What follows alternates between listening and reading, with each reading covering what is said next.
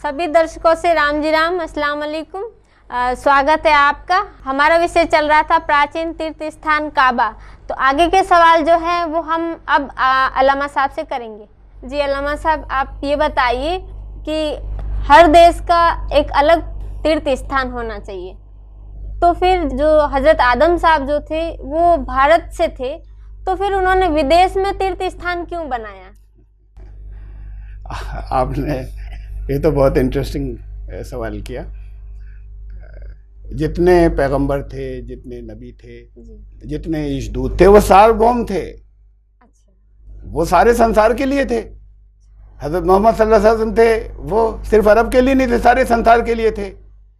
इनको वहाँ पर हज़रत आदम अलैहिस्सलाम को सनातन धर्म की परंपराओं में स्वयंभू मनु कहते हैं। सार्वभौम थे सारे संसार के लिए थे।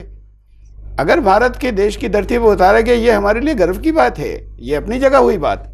लेकिन इसका ये अर्थ नहीं हुआ कि जिस जगह वो सोते हैं या जिस जगह वो रहे जिस जगह कुछ उन्होंने खाया तो बाकी धरती से वो कट गए। ये सीमाएँ तो बात को बनी है इंसानों ने खींच ली है रेखाएँ और सीमाएँ। अच्छा। जो बॉर्डर्स बना लिए और अलग अलग देश बना लिए और उसे अपना अपना देश कहने लगे। धर्म तो सारे जो सच्चा धर्म होता है वो सार्वभौम होता है। सारे इंसानों की बात करता है। वो किसी एक देश की बात नहीं करता धर्म। सनातन धर्म अगर एक देश की बात करने लगे तो फिर सनातन धर्म सार्वभौम नहीं है सबके लिए नहीं सारी दुनिया के लिए नहीं सिर्फ़ भारतीयों के लिए हो जाएगा। तो हज़रत आदम अलैहिस्सलाम भी सार्वभौम थे सारे विश्व के लिए थे सारी दुनिया और सारे संसार के लिए थे। तो इसमें इसका तो प्रश्न ही नहीं उठता कि वो इस देश में कुछ क्यों नहीं बनाया किसी और जगह क्यों बनाया। ये तो अलग बात हुई। अच्छा। हाँ अब मैं ये बताऊँ कि वहाँ पर क्यों बनाया? जी। उसका क्या महत्व जी जी। काबा पृथ्वी की नाभि है। जैसे इंसान की नाभि होती है। जी। नाफे ज़मीन नेवल। ऐसी वो नेवल ऑफ़ द अर्थ है। वो असली मरकज है नाभि से क्या होता है? बच्चे को आहार मिलता है। जी जी।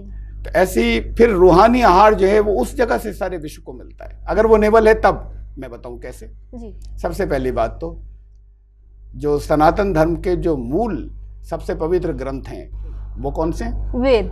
वेद है। जी। आप तो जी जी। जी आप तो बहुत खैर ज्ञानी हैं। सनातन धर्म के मूल धर्म ग्रंथ वेद हैं। ऋग्वेद के अंदर तीसरा मंडल उसका उनतीसवां सूक्त और उसका चौथा मंत्र है। नाभा पृथिविया इलायास्त्वा पदे अधि वयम धीमहि। इसका अर्थ है कि हम पृथ्वी की नाभि पर इलास्पद इला के स्थान को ईश्वर के स्थान को हम पृथ्वी की नाभि पर धारण करें। तो किसी पृथ्वी की नाभि की बात और किसी ईश्वर के स्थान की बात वेद कर रहे हैं जो पृथ्वी की नाभि पर है। अब ये काबे को कैसे कहा जा रहा है? नाभि के लिए ये बड़ी इंटरेस्टिंग आपके लिए अनुभव होगा। जी जी। और कोई भी इंसान आप ऊँचा हो लंबा हो लड़का हो लड़की हो महिला हो दीवार के पास खड़ी हो जाइए। अपनी नाभि के लेवल के ऊपर एक निशान दीवार में होना चाहिए बहुत सच्चा। अच्छा। ऊँचा नीचा नहीं हो जाए। अपनी हाइट का लगा लीजिए। एक निशान दीवार पर लगा दीजिए। जी। अब हाइट का निशान आ गया बीच में नाभि आ गई। नाभि से पाँव नीचे तक की नाभि कितने ऊपर है? दूरी नाप लीजिए। अच्छा। सीधी नापें टेप टेढ़ा नहीं हो जाए। अच्छा। बिल्कुल सीधा। और नाभि से सर तक की नाप लीजिए। इसका अनुपात रेशियो निकालिए। ये टांगे लंबी होती है ऊपर का हिस्सा कम होता है। जी जी। तो जो नीचे का हिस्सा है नीचे का भाग नेवल से नाभि से पाँव तक का उसको भाग दीजिए सर से लेके नाभि तक का जो फासला था उससे। अच्छा। जितने फिट बैठे इससे भाग दीजिए डिवाइड कीजिए। आंसर आएगा सबका दुनिया के सब लोगों का 1.6 अच्छा। तो अब नाभि ईश्वर ने ऐसी जगह बनाई है कि सबका ये रेशियो आता है कि अगर नाभि से नीचे के भाग को डिवाइड करें भाग दें नाभि के ऊपर से सर तक के फासले को तो जवाब आता है उत्तर आएगा 1.6 अब पृथ्वी को ले लीजिए। आज के समय में तो बड़ा आसान हो गया। गूगल अर्थ पर जाएँ और बिल्कुल एक एक मीटर से आपको डिस्टेंस और फासला मालूम हो जाएगा। यहाँ मार्क लगाएँ और उत्तरी ध्रुव नॉर्थ पोल और साउथ पोल उत्तरी ध्रुव तो पृथ्वी का सिर है और साउथ पोल जो है ये पृथ्वी के पैर हो गए। वहाँ से फासला नापिए।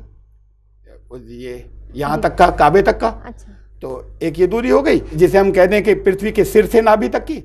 और एक दूरी नाभि से आप साउथ पोल तक की नाप लीजिए। ये दूरी जब आप नापेंगे तो ये काबे से साउथ पोल तक की या दक्षिण ध्रुव की दूरी है बारह हज़ार तीन सौ पिछहत्तर किलोमीटर। अच्छा। और उत्तरी ध्रुव से लेकर काबे तक की जो दूरी है वो है सात हज़ार छह सौ पैंतालीस किलोमीटर। अच्छा। अब बारह हज़ार तीन सौ पचहत्तर को सात हज़ार छह सौ पैंतालीस से आप भाग दीजिए आंसर आएगा वन पॉइंट सिक्स। तो ये नाभि है नाभा पृथ्वी है और वेद कह रहे हैं पृथ्वी की नाभि की किसी बात कर रहे हैं। जी जी। तो ये एक इंपॉर्टेंट जगह है यहाँ से रूहानियत का ये आध्यात्मिक का केंद्र है। तो इसलिए हज़रत आदम को ये आदेश हुआ कि सेंटर या मरकज उसे बनाना है और वहाँ तुम एक ईश्वर की उपासना का स्थल जो है उसका निर्माण